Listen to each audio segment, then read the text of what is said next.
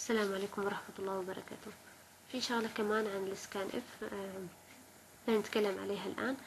بشكل عام آه إحنا اتفقنا إنه في اللي يعني مثلا شافوا درس ال sizeof اتفقنا إنه sizeof of ترجع قيمة أو حجم المتغير في الذاكرة كم. فترجع عدد صحيح يعني حجز أربعة أماكن عشرة bytes ثمانية bytes على حسب حجم المتغير. scanf ماذا ترجع؟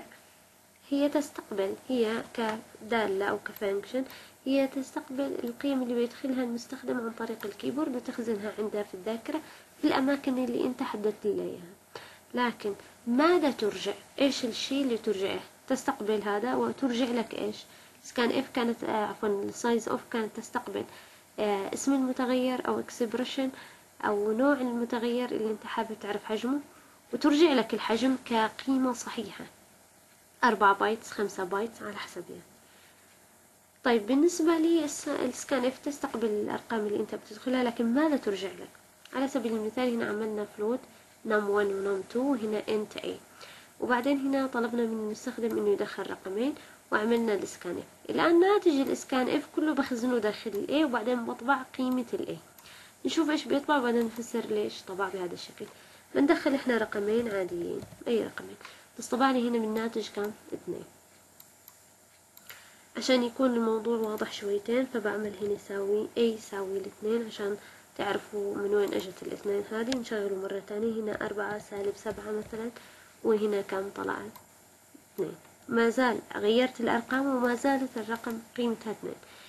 ال a هذه تخزن بداخلها ما ترجعه scanf scanf إيش رجعت لي؟ حسبت كم عدد المتغيرات اللي انت ادخلتهم. انت كم دخلت ارقام؟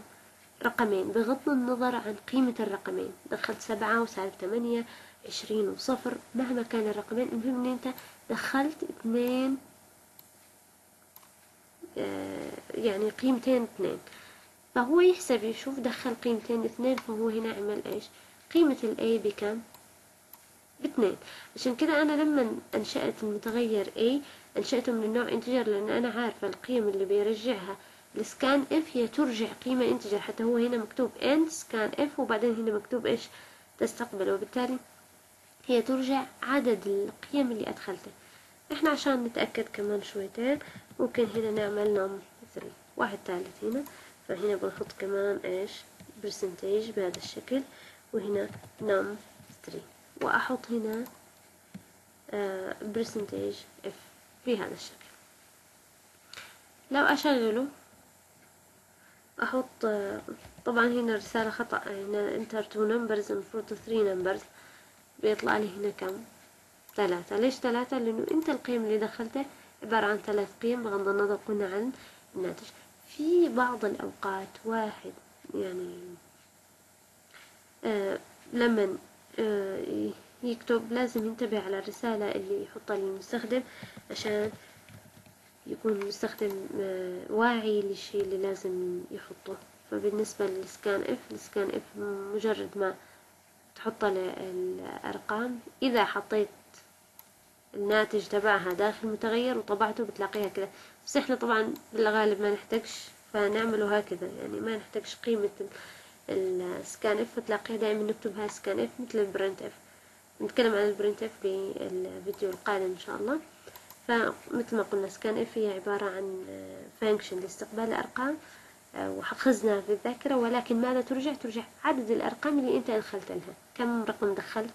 خمسة ستة أو كم value دخلت؟ مش بالضرورة أرقام ممكن يكون characters فكم value دخلت؟ يعني كم هنا percentage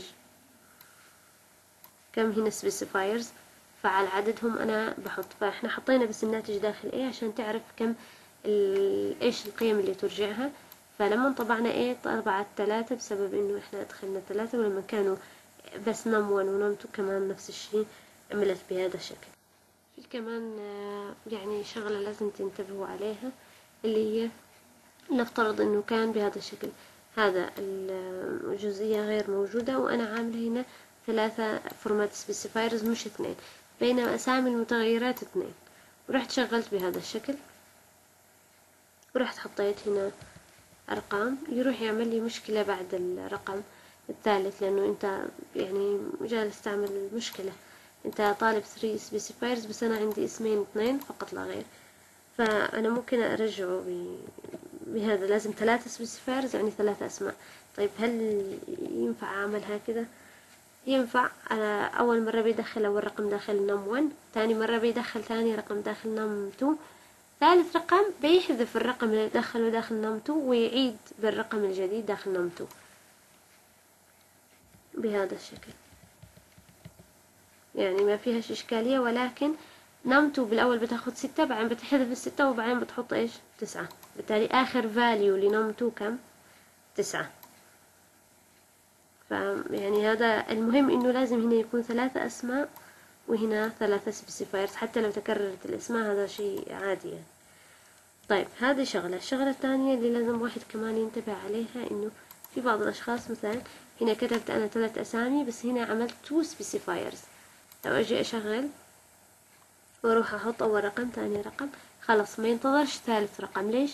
لأنه هو فعليا يمشي على مين؟ على ال specifiers يمشي على هدول. شاف أول واحدة أخذ الأول واحدة ثاني واحدة أخذ ثاني واحدة. ثالث واحدة ما فيش ثالث واحدة فما يشوفش هذه الجزئية نهائيا. ما يعتبرهاش ولا يشوفها. وبالتالي آه كل اللي بس بيعمله إنه بيعمل آه خلينا نقول آه warning إنه أنت كاتب واحد زيادة ولكن ما فيش مشكلة في في, في الكود ككتابة. هو بياخد على هدول هم اثنين حتى قيمة الاي بتمشي على ال specifiers اللي هنا. بس لو كان العكس هنا في specifiers أزيد من الأسماء اللي موجودة. ثالث specifier وين بيوديه؟ ثالث رقم وين بيوديه؟ هنا يعمل مشكلة. أما تكرار الأسماء هذا ما فيش إشكالية. اللهم إن أنت جالس تحط قيمة وتحذف قيمة أخرى مثل ما عملنا عملنا num two بعدين num two. هي ما فيهاش إشكالية ولكن هي ك يعني كود ولكن مش من المنطق إني أنا أدخل قيمة وأحذفها في نفس اللحظة. أنا ممكن أغير صح قيمة num two ولكن بعد أول مرة دخلتها الآن بال scan واستخدمتها بعد ستين سطر سبعين سطر غيرت قيمة ال num two عادي. لكن في نفس اللحظة اللي أنا دخلت فيها قمت غيرت فيها قبل ما أستخدم مش من المنطق إنك تدخل رقمين وأنت عارف إنه في واحد ما بتستخدموش. ليش العذاب؟ يعني أدخل خمسة وبعدين أحذفها وأدخل ستة. طب ليش دخلت الخمسة بالأول؟ بتدخل ستة على طول بدل ما تحط له مرتين. حط وضعي لهذا هنا اثنين. مشكلة آه، آه، منطقية وليست مشكلة آه، برمجية بالكتابة. الكتابة سليمة مليون في المئة ولكن هذا مش منطق برمجي للوجيك يعني. لأنه مش معقول أنا أدخل اثنين وأحذفه عشان أدخل ثلاثة. أنت دخل ثلاثة من الأول وخلاص. ليش أحطه مرتين ورا بعض من دون الاستخدام؟ تغيير لنفس المتغير مش بنفس اللحظة. انت تدخل اثنين وتستخدمه وبعد ما تستخدم الاثنين ترجع تغيره وتحط ثلاثة هذا عادي. لكن ان انت تحط اثنين وتحذف وتحط ثلاثة مباشرة من دون الاستخدام هذا هو اللي مش منطق ولا لوجيك حتى. هذا بالنسبة لي آه، الاسكان اف